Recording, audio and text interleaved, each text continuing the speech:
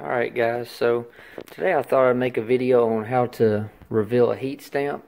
Um, I'm actually out here in my garage, a little bit of an echo, but um, I did a video on this, I don't know, maybe a year and a half or so ago, and I'm basically going to use the same method.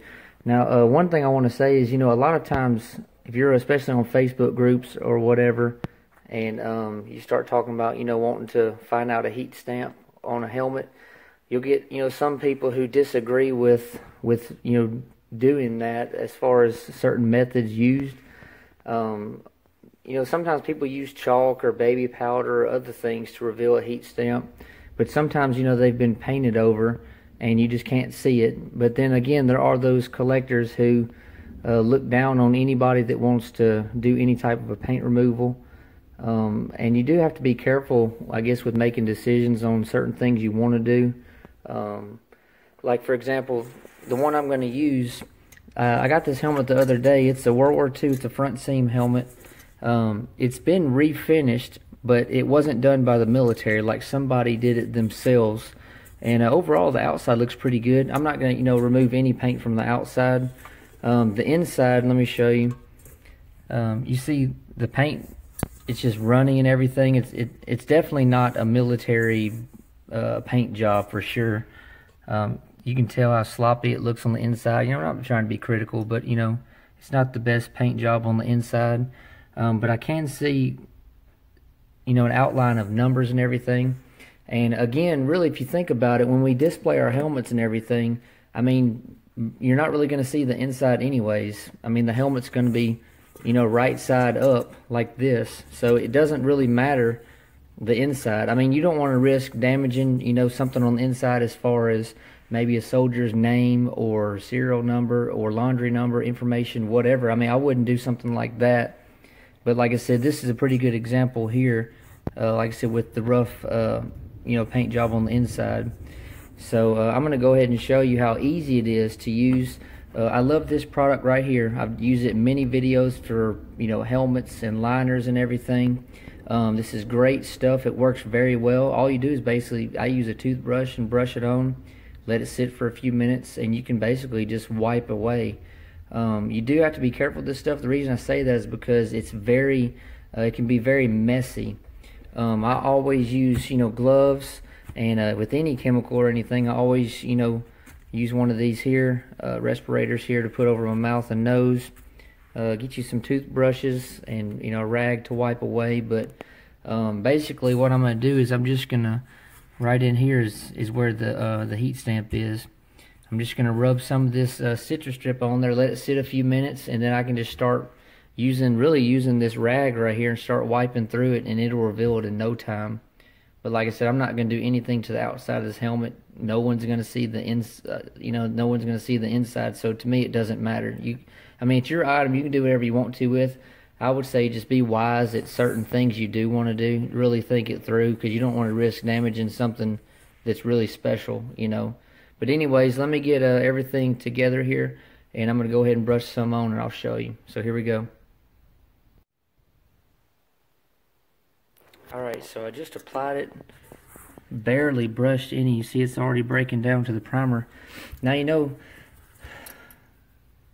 this uh like I said this is a pretty good example helmet here. Uh, it's not the original finish by any means. So again certain people will have opinions and everything which everybody has an opinion about something but um, I just brushed it on there and see it's already eaten through there. And um, here in just a, you know a couple minutes or so I'm gonna start wiping with uh, this rag right here and we'll see what the heat stamp is. So let's give it a few more minutes Alright, so I've been brushing uh, in a circular motion with this toothbrush for just a few minutes and if you can see that, you can the numbers are already basically showing up. You can see that right in there. I'm telling you, this stuff works great, but it is really like slimy and everything. And it, it makes your toothbrush all nasty, and you see this stuff over here.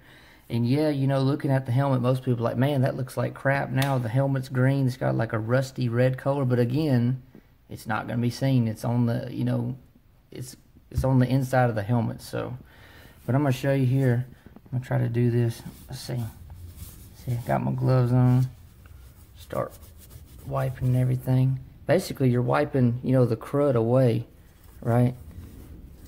Sometimes you have to do this, uh, you know, apply the Citristrip and do it multiple times, but let's see. Bear with me.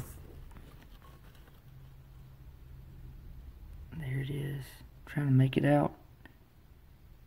Looks like 90 something A. So I'm gonna clean it up just a little bit more and uh and then we'll definitely see what the heat stamp is. So give me just a minute. Alright guys, so honestly I've tried here for a little bit trying to make out the whole heat stamp and uh, I actually took a pencil and kind of went back and forth over here and I'll show you what I'm looking at if you can see it there see there's a 9 0 and then there's a space and an A I cannot make out the third number the third digit you know I've tried with magnifying glass and and uh, I've tried with um, like I said the pencil and a few other little different techniques but just cannot make out sometimes you know unfortunately uh, the numbers some of the numbers, not the whole heat stamp, but maybe just one digit or even a letter is just faintly stamped and you'll just never be able to make it out. It's just too far faded, too far gone. You know, and honestly, like myself, I like to know exact numbers. You know, I guess I'm OCD or whatever, but but like I said, it's definitely 9-0 and there's a space in the A. now, I do know that uh, like the really, really early M1 helmets, um, some of those could have like you know two digits and then a, a, a space and the letter um, and then sometimes you'll see like two digits a letter and then a space and another number off to the side. But um, unfortunately I'm not going to be able to make this one out. So I don't believe it's um, it's just 90A I'm pretty sure there is a third digit in there. But uh, unfortunately you know I'll just never know exactly what it is. But uh, like I said, definitely try the the you know the pencil lead, and because uh, that'll help bring out the digits also a lot of times. But anyways, you know if I hadn't done this removal, I wouldn't have known what the heat stamp is, and I wouldn't have known uh, roughly you know the the month and year it was made. I mean, yeah, there's other characteristics you can tell of a helmet when it was made, but you know again, I like to know exacts if possible. So you know I like to narrow down within a month or two the date of production. But anyways, guys, I'm to wrap this up. Uh, hope you like this video. Um, I plan on doing a paint removal on a helmet liner I just got. It's been painted black, so I'm going to do that maybe in the next day or so and uh, post that video also. But anyways, definitely pick up this Citristrip. It's good stuff, but remember it's messy. Always use gloves and a, and a mask and everything. And um, anyways, guys, I'll be getting back to you soon, so thank you.